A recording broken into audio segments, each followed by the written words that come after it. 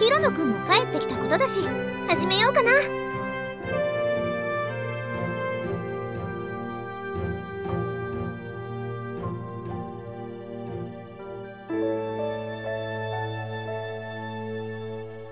今日は遊びに来ただけじゃないんだよ。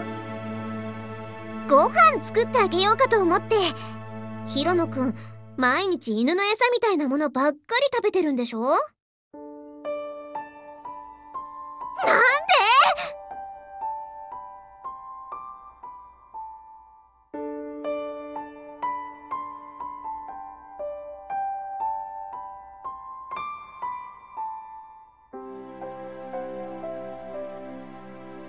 それは何故に？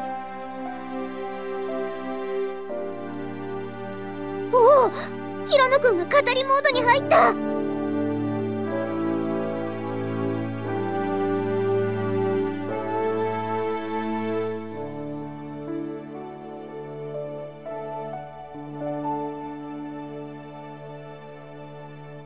お兄ちゃんこのところ目に見えて痩せてきてるわね。仕方ないから私が食事作ってあげるわ。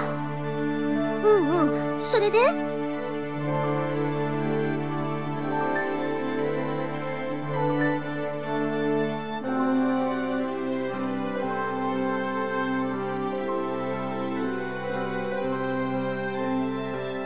はあ平野くんの手足が生まれたての子馬みたいに震えてる。